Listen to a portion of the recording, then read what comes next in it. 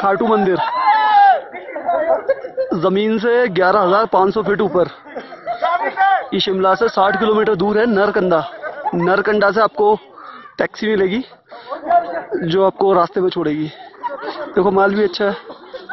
खूबसूरत लग रही है लड़की।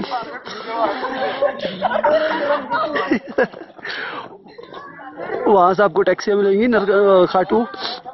मंदिर के लिए। वो तीन किलोमीटर पहले छोड़ देंगे, ताकि बर्फ़ इतनी होती है, वो जा ही नहीं पाएगी आगे। और यहाँ का एक और अच्छा है, यहाँ नवंबर से लेके मार्च तक बर्फ़ रहती है बहुत।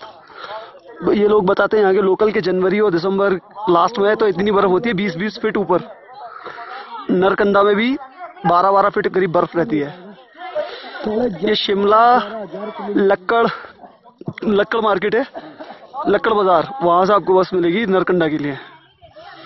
वो नरकंडा से फिर आपको टैक्सी पकड़नी पड़ेगी। घूम तो ये थ्री सिक्सटी व्यू मिलता है यहाँ से।